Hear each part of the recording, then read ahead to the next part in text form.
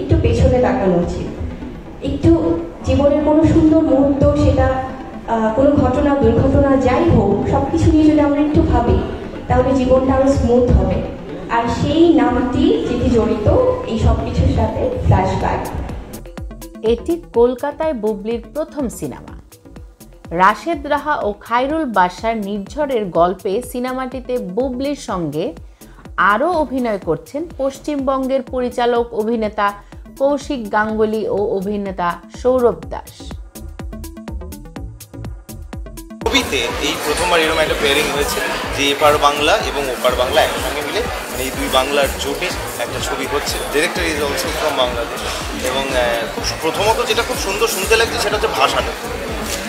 সেটা একটা অদ্ভুত একটা ভাষা তৈরি হচ্ছে এবং আমার, আমাদের এখানকার যে মানুষরা, তারা মাঝে মাঝে ওদের ভাষাকে একটুখানি কই আর কি, ভাঙা ভাঙা ঢাকাইয়া ভাষা বা বাংলাদেশের ভাষা বলছে আর ওরা মাঝে মাঝে আমাদের মতো বলছে এই একটা অদ্ভুত একটা কেয়স হচ্ছে আর কি। হ্যাঁ সেটা খুবই মিষ্টি। প্রযোজনায় আছেন নারায়ণ চট্টোপাধ্যায় ও কাজী জাফরিন মুন। এটি নিবেদন করেছেন ব্লু হোয়েল এন্টারটেইনমেন্ট ও বিগ আর এন্টারটেইনমেন্ট। পদার্পণ করছে ও এই এই সিনেমাটার মধ্যে দিয়ে। তার সাথে সৌরভ আছে। সৌরভকে আমি তুমি করেই বলছি আমার থেকে অনেক ছোট বয়সে। সুরজিৎ আছে আরও অনেকে আছে। অনেক স্বনামধন্য এবং উনি একজন নির্মাতা। আমাদের এই কাজে তিনি আমাদের সাথে আছেন এই জন্য তার প্রতি অনেক বেশি কৃতজ্ঞতা। সিনেমাটি মুক্তি পাবে ভারতের বড় পর্দায়। আমি বাংলাদেশ থেকে আসলেও আমার বাংলাদেশের প্রেসের সাথে এবছর এখনও দেখা হয়নি। সেই প্রথমবার আমার এই প্রেসের এই রেসপেক্টেড সব জার্নালিস্টদের সাথে দেখা হলো। কারণ আপনাদের জন্যই আমরা। আমাদের, আমরা যেমন আমাদের কাজটা শুধুমাত্র যদি আমরা আমাদের মধ্যে রেখে দিতাম, তাহলে এটা কখনোই হতো না। আমাদের এই কাজটা যখন আপনারা পৌঁছে দেন দর্শকদের কাছে, সেটাই আমাদের সার্থকতা এবং এভাবেই কিন্তু কাজের খবর সবাই জানে। সো এই জন্য স্পেশাল থ্যাঙ্কস সবাইকে। আর আমি আপনাদের মাধ্যমে আমার বাংলাদেশের সাংবাদিকদেরকেও হ্যাপি নিউ ইয়ার জানিয়ে দিচ্ছি। ডিরেক্টর রাশেদ রাহা ওনার নির্মাণে নির্মিত হচ্ছে সিনেমাটি তো ওভারঅল সব কিছু মিলে আমার কাছে মনে হয় যে এটা স্পেশাল কিছুই হবে এবং দু হাজার চব্বিশে যেরকম করে আমাকে কলকাতার সবাই আপনারা আপন করে নিয়েছেন সো সারা বছর এরকমই যাক, শুধুমাত্র দু হাজার চব্বিশ না, অনেক অনেক বছর এভাবেই যাক, সেটাই চাই। আচ্ছা সমস্ত জায়গা থেকে। যদিও আমাদের একই ভাষা বাংলা, কিন্তু তারপরেও একটা, কোথায় যেন একটা মিষ্টি, দুষ্ট একটা ভাব আছে আমাদের দুই বাংলাতেই, কলকাতা বাংলাদেশে। সো এটা অটোমেটিক্যালি ভাষার জায়গাটা থেকে চলে আসে কিছু বিষয়।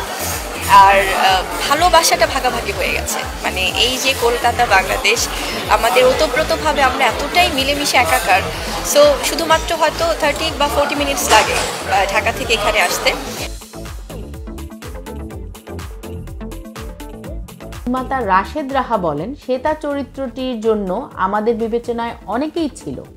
তবে আমাদের মনে হয়েছে, বুবলি ভালো করবে। সে যথেষ্ট পরিশ্রমী ও দায়িত্বশীল।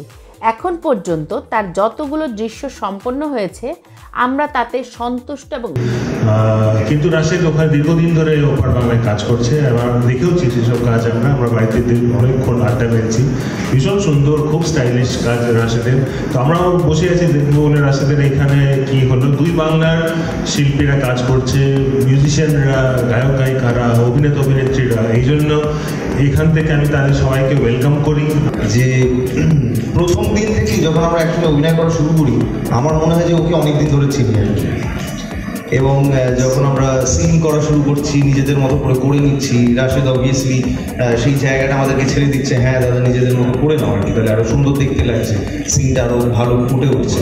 তো সেইখানে দেখেছি ওর যে পার্টিসিপেশন সেটা কখনোই ভাবায়নি যে ওকে আমি এই একদিন হলো চিনি বা দুদিন হলো, কারণ আমাদের সেই সময়টা ছিল না, একে অপরকে চেনার।